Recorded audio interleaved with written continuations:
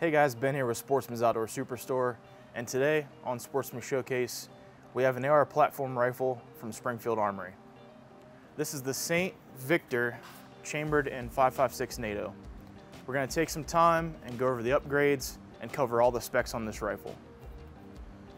So first, we wanna talk about the biggest upgrade for this version of the Victor, which is the B5 furniture added right from the factory at Springfield. We have the SOPMOD stock with an ergonomic cheek weld design and integrated QD sling mount. They also added the Type 23 pistol grip with enhanced ergonomics and super aggressive grip panels. Okay, now we're gonna move into the tabletop view and cover all the specs on this rifle.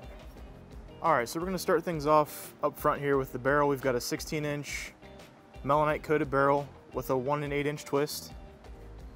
And then we'll move into the muzzle device. We have a muzzle brake on this rifle. And then moving into the gas system, we have a direct impingement, low profile gas block with a mid-length gas system.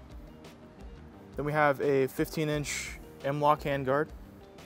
All right, so moving into the upper and lower receiver section of the rifle, we have both the upper and lower are forged 7075 T6 aluminum and they both have a hard coat anodized finish. We have a nickel boron coated flat face GI trigger.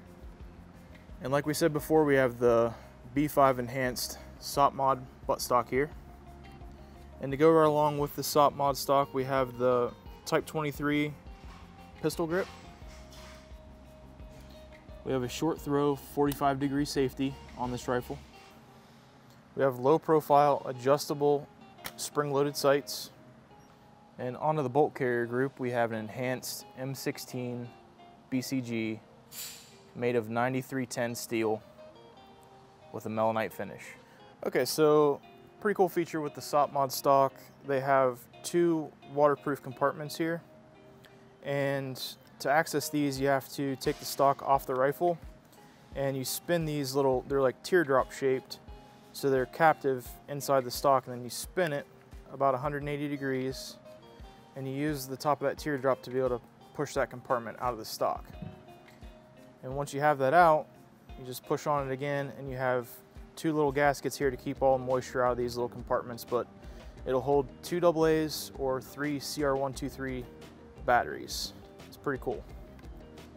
And to put it back in, it's just a reverse order just put it back down in and spin your little tab 180 degrees, throw it back on your rifle. All right guys, that wraps up our video for today. If you have any questions, comment down below and we'll do our best to answer those for you.